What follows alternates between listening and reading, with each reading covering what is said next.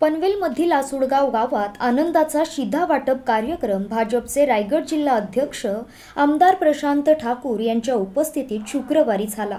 दिवाळी निमित्ताने राज्यातील सुमारे सात कोटी नागरिकांना देण्यात येणाऱ्या आनंदाचा शिधा या माध्यमातून चार वस्तूंचे वितरण करण्यात येणार आहे. राज्यातील गरिबांची दिवाळी ही गोड करण्याच्या दृष्टिकोनातून सरकारने पहिल्यांदाच हे पाऊल उचललेलं आहे. चांगल्या प्रतीचा एक किलो रवा एक किलो चणा डाळ एक किलो साखर आणि एक लिटर पाम तेल स्वस्त दरात शंभर रुपयांमध्ये सर्वांना मिळेल. मुख्यमंत्री एकनाथ शिंदे व उपमुख्यमंत्री देवेंद्र फडणवीस यांच्या सरकारने हे पाऊल उचललेलं आहे.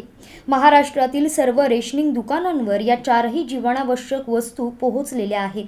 दिवाळीनिमित्त शासनाच्या माध्यमातून राज्यातील पात्र शिधा पत्रिकाधारकांना आगामी काळामध्ये प्राधान्य कुटुंबातील शिधा पत्रिकाधारकांना अंत्योदय अन्न योजनेतील सुमारे आठ कोटी बासष्ट लाख पात्र लाभार्थ्यांना याचा लाभ मिळणार आहे.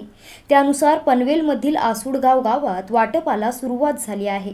यावेळी पनवेलचे तहसीलदार विजय तळेकर पनवेल महापालिकेचे माजी नगरसेवक एकनाथ गायकवाड माजी नगरसेविका शशिकला शेळके भाजपचे ओबीसी सेल जिल्हा सरचिटणीस दशरथ म्हात्रे तालुका पुरवठा अधिकारी प्रदीप कांबळे असुडगाव सर्कल श्री मोहिते तलाटी आरती रेवस्कर माजी सरपंच शशिकांत शेळके हरिश्चंद्र म्हात्रे दशरथ शेळके हसन अण्णा यांच्यासह पदाधिकारी कार्यकर्ते आणि ग्रामस्थ उपस्थित होते.